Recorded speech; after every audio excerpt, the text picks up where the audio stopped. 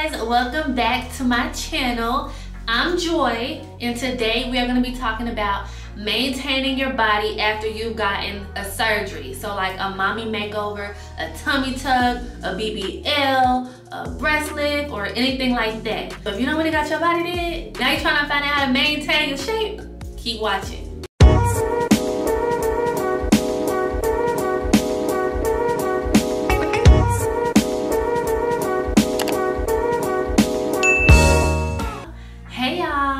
Welcome back welcome back welcome back. If you're new here welcome. Some of you may know i recently got a mommy makeover and a tummy tuck. So i am now seven months post-op y'all. Oh my seven months post-op y'all. Oh my god i definitely got to do a body update. I'll do that here within the next couple of days or week or so. But yeah i'm seven months post-op so I'm definitely at that point where I'm like, okay, let me try to figure out, let me let me maintain this, you know, let, let me protect the investment, you know. Once you get once you've gotten your body done, it's a lifestyle change. Um, it's not like you just go get surgery and then you just, you know, you just fine. Like I wish it was that easy. Unfortunately, it ain't. Um, yeah, there are some things that you will need to do to upkeep your body. It's just like if you go get a brand new car if you get a brand new car, you can't just drive it, you know, every day and don't get nothing fixed on it. You just drive it, drive it, drive it. You're gonna have to go get tires, you're gonna have to go get an oil change, you're gonna have to do all that. So your body is the same way. Like, I mean, I don't know if that sounds weird, me referring the body to a car, but y'all get what I'm saying. You gotta maintain your body, especially if you've undergone surgery because you just invested money, um, you know, time because you down for a little bit and you know, you just want to make sure that it was all worth it. So you want to make sure that you're maintaining all that. So yeah. So these are my tips. Again, I am not no expert. I'm not no body expert. I'm not no surgeon or nothing like that. Everything that I share is based off of experience. So I'm just sharing it with y'all. Y'all can take what y'all want out of it. Who cares? I'm just gonna share it with y'all.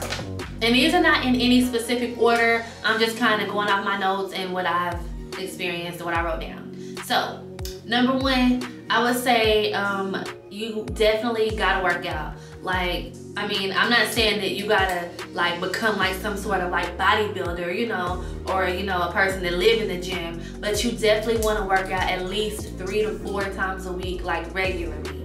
Um, whatever workouts you choose to do, um, that's up to you.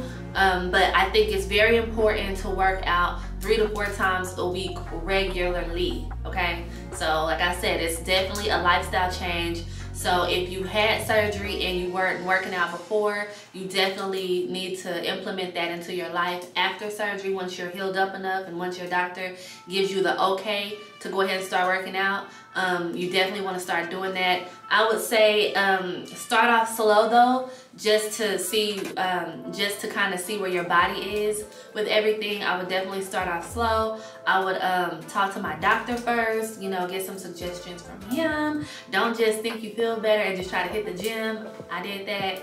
I would recommend it. So yeah. Number two, watch what you eat, y'all. Now, I, I, I have a sweet tooth. Like, I mean, I love snacks and I've never really just watched what I ate like that until a few years ago when I decided to go vegan. Um, but yeah, like growing up, um, early in my 20s and everything, I just, I, I mean, I love a snack. So that's something hard for me, you know, now that I've gotten my surgery and I'm trying to maintain my body. Um, I think it's definitely important to watch what you eat. Not saying that you can't enjoy all of your favorite foods, just be cautious um, that you're not overindulging, especially to the point to where your body is going back to the way it was before surgery, y'all. You know, like you can just be eating and snacking. You can, you know, not even picking up enough, and then a week or two or three later, you, you know, you picking up weight. So you definitely want to watch what you're eating and watch your weight. Not saying like don't gain any weight or don't lose any.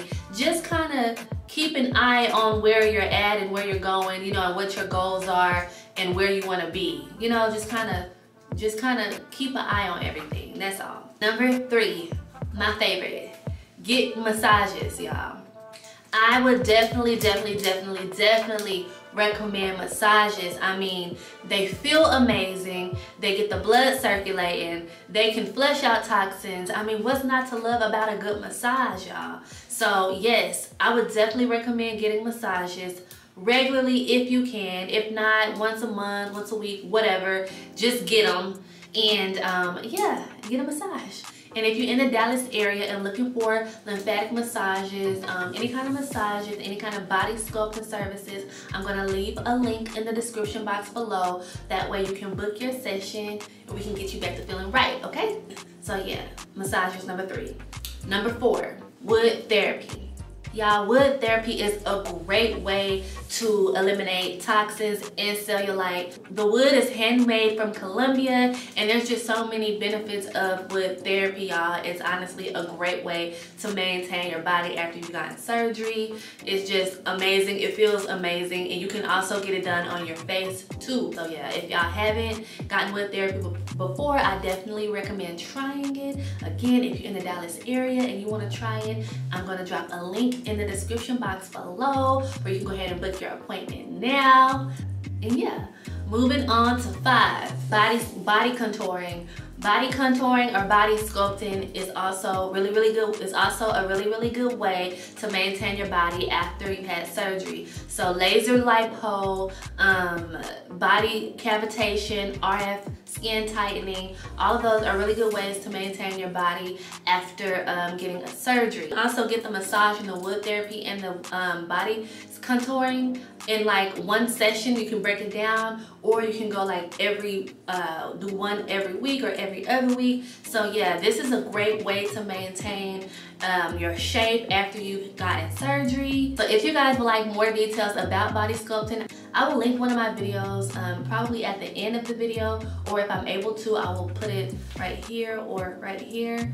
Um, yeah so you guys can just go ahead and check that out get informed about body sculpting body contouring what exactly is it and the benefits of it because there are so many y'all. Too many for me to go through right now. So yeah y'all go ahead and check out that video. Now if none of these work for you if don't nothing that I just listed work for you you you might have to you you you you might probably have to do a round two like a lipo or something.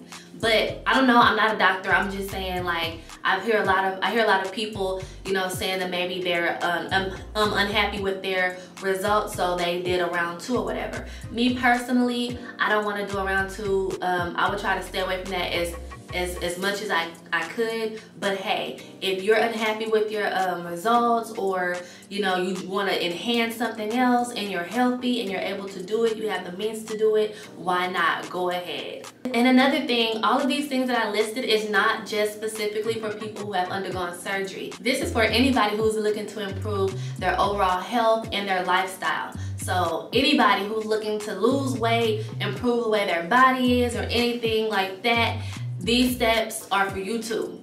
But I'm gonna go ahead and wrap up this video. So make sure you like, comment, subscribe, and hit that notification bell so you can be notified every time I post a new video. Thank you guys so much for watching and I'll see you in the next video. Bye.